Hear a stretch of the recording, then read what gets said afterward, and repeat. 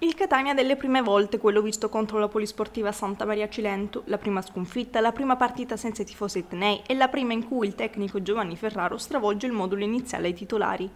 Ad una sola giornata dalla sosta natalizia si interrompe la magia del Catania che allo stadio Antonio Carrano di Santa Maria di Castellabate perde l'imbattibilità in campionato. Il cambio tattico che ha deciso di attuare Mister Ferraro proponendo ad inizio gara un 4-3-1-2 differente dal modulo di routine 4-3-3 poteva far pensare ad una novità positiva che non consentisse facile lettura agli avversari, ma così non è stato.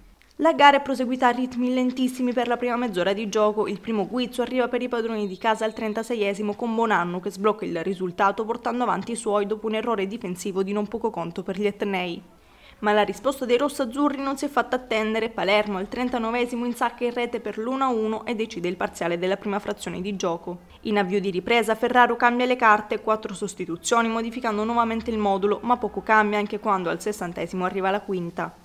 La polisportiva Santa Maria Cilento non abbassa la guardia, corre e sorprende gli Etnei. Al 76esimo è Tandara, subentrato al posto di Bonanno, a decidere la sfida. L'azione partita da calcio d'angolo per i giallorossi e l'incertezza in area piccola da parte degli etnei ha premiato i campani che beffano la capolista. Certo è che il Catania abbia poco tempo per metabolizzare la prima sconfitta del campionato, i rossazzurri infatti sono attesi al Massimino mercoledì 21 dicembre alle 14.30, dove questa volta ad attenderli ci saranno il Trapani e i soliti 15.000 sostenitori pronti a salutare la squadra prima della sosta natalizia.